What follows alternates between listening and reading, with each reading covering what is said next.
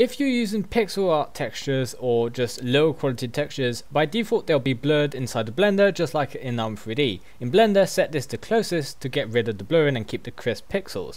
However, if we play this in Armory 3D, it's still got a blurred render, which is weird. So how do you fix this inside of Armory 3D? Well, Armory 3D has its own render inside the render path, and here you can define things like texture, the texture settings, so you can set it to closest or manual. Manual is the most recommended one, so it'll take whatever setting you set in Blender, and it'll transfer that to Armory 3D. So now we have the same texture quality inside of Blender as we do in Armory 3D.